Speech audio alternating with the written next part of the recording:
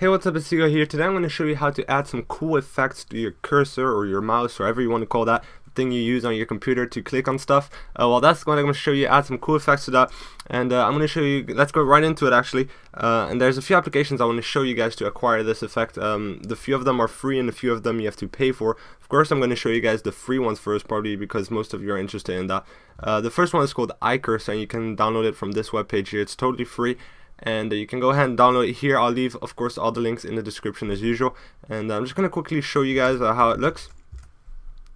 And uh, there we go. As soon as you launch it up nothing pops up just uh, there's just a mouse effect. And uh, there's a different effect even though you might not see huh, where do you have to click to change the effect and stuff like that. But um, the way you change your effect is you click on the iCursor itself in the in the dock sorry. And you you'll see in the menu bar iCursor up here and then you have the effects here and here you have all the different effects you can choose from. Uh, so there's uh, tons of different effects. You see um, propeller I've never tried that one. Pretty red. I like this one. Nice color. Uh, so you have uh, quite a few different uh, effects you can choose from.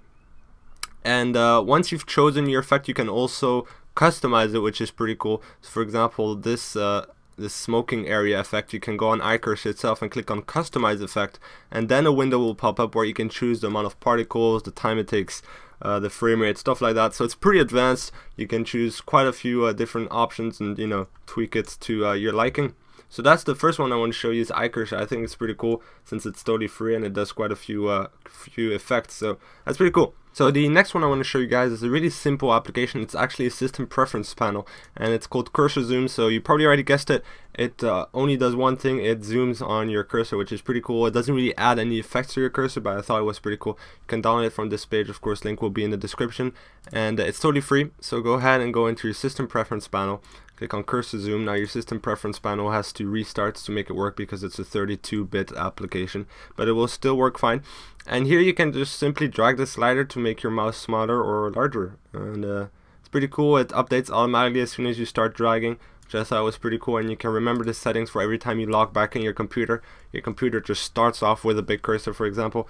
And uh, of course you can uh, reset it to the default size which is pretty cool. So it's really simple it's called cursor zoom and uh, you know I thought I'll still show it to you guys since it's free if you might want to use that for uh, videos for example you might want to you know zoom on your cursor for certain videos can be handy uh, as well uh, so that's it for the free applications. It's The only ones I found that were really free. I found some trials out there. You could only use them for five days or something like that. So I didn't really want to show you guys uh, that. But uh, the, these two applications I showed you are totally free, of course. Uh, and you can just use them as long as you want to. And uh, I've got two other applications I want to show you guys uh, that you have to pay for, unfortunately. but they're pretty cool. The first one is Startrail. Now I got it right here, Startrail.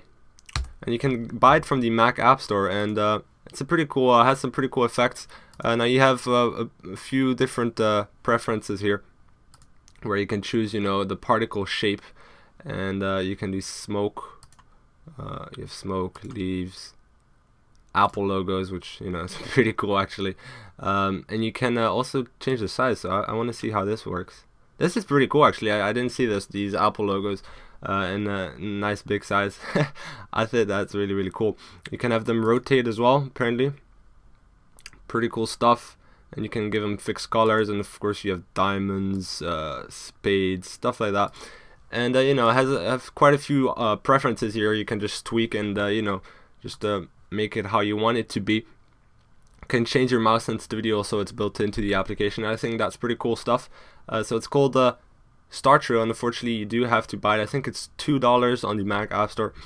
And uh, one thing I really like though about this application is um, sometimes you want to click on a button and then there's tons of particles on it and you can't see it anymore what's written on, on the button. So uh, the cool thing about Startrail is when you stop moving your mouse all the particles disappear so you can easily read what's uh, under your mouse. Sometimes uh, for example iCursor um, sometimes there's so much particles I can't read anymore what's under my mouse so that can be a little annoying but uh, that's Startrail pretty cool applications has some uh, also pretty different uh, cool effects so next up we got Pinpoint now this is a pretty popular application on the Mac App Store I know that so you might have already heard of it Uh, but uh, I've got the Mac App Store open right here, and as you can see, you can uh, buy this application. Unfortunately, it's five dollars. I personally don't think it's that worth it. Uh, five dollars, you know, just to change your cursor. But depending on what you use this for, it might actually be uh, useful to you, and it has some pretty cool effects. So I'm just gonna show it to you guys. I got it right here. pinpoint, and um, as you can see here, this is the first time you start it up. It kind of gives you an introduction and uh, where you need to click to set the settings. But as soon as you launch it up, you'll see there's a little effect. This is the default effect you got here. And you can go in the menu bar and go to the settings uh, where you can choose tons of different things. Uh, you can choose the pointer and you have a few different effects here you can choose from again. And uh, they kind of rotate around your, uh, your cursor here. Uh, this one you can't really see it that well. Oh, there you go. Here you can see it pretty well. And this application has been around for quite a while. It used to be free back on uh, macOS 10 Leopard, uh, but now they made it paid. Uh, and you know, you got kind of a few effects here you can choose from. And you can choose the color and it uh, updates that. I think it's pretty cool. You can, you know, choose the speed of everything, the size, you can make them really big, transparency if you don't want them to show up too much. Uh, you know, the rotation speed, speed at what they rotate. You can choose all that stuff and has a pretty cool uh, few effects again. You know, you can choose from a, a, lot of different things. So, you know, that's totally up to you. Um, this one is uh, pretty cool in my opinion. It's called Audio Tracker. And when you talk, the, the louder you talk, as you can see, uh, the bigger the cursor. So it, uh, it notices uh, the sound or it catches the sound from your microphone and the more sound it has around you the the cursor the more it like moves as you can see. So it's pretty cool it's uh, synchronized on the sound. I thought this was pretty cool and this is definitely unique to this application. I haven't found that on any other application so that's definitely something uh, that's you know uh, pretty cool in my opinion. But uh, again you know you can just choose from all the different effects here. So I'm not going to go over all the effects but uh, yeah that's pretty much it. You have a few extra uh, options here but uh, I'll let that to you guys if you want to buy this application it's pretty uh, straightforward. But uh, that's all the uh, effects I want to show you guys, or cursor effects. I found one other application as well that I re don't really want to mention. It's called HotMouse. Uh, I don't have it personally. I haven't tried it out, but uh, it looks pretty okay. But you have to buy it again from the Mac App Store. But I wouldn't recommend it. Uh, it's also two dollars, uh, the same as a Startrail. Oh, this one's actually four dollars. Excuse me. Uh, but anyway, I think Startrail is definitely uh, more worth it, or Pinpoint even. But uh, this one doesn't seem that amazing in my opinion, even though I don't personally have it. But you know, just an other application you might want to check out as well.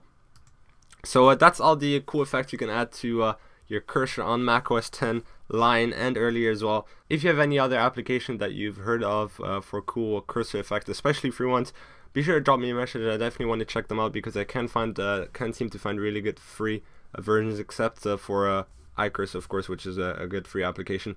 But anyway, um, this wallpaper, by the way, will be in the description since I know a lot of you guys will ask for it. And uh, that's pretty much it. Be sure to check out my two latest videos down there. Uh, follow me on Twitter, like me on Facebook, and circle me on Google+. And uh, once again, I'll thank you a lot for watching, and uh, I'll see you guys later. Peace.